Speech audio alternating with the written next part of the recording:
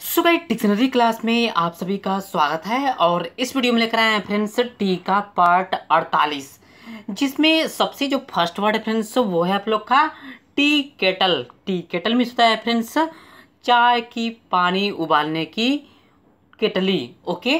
और फ्रेंड्स, आप लोग को हम टी मतलब बताए थे।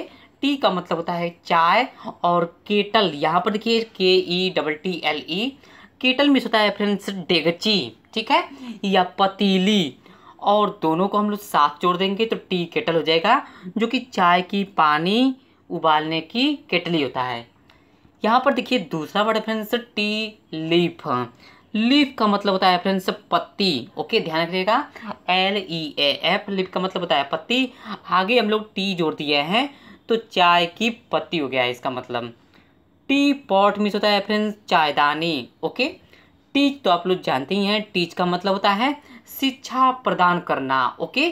T E A C H teachable देखिए नेक्स्ट वर्ड है आप लोग का टीचेबल जो कि पढ़ाने योग्य होता है फ्रेंड्स या आप लोग एक और लिख सकते हैं यहाँ पर, सिखलाने योग्य।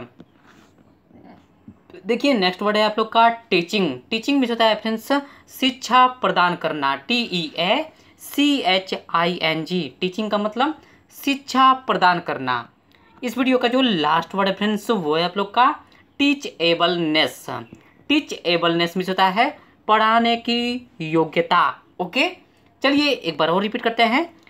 टी केटल बताया है, चाय का पानी उबालने की केटली टी लिफ मिस होता है चाय की पत्ती।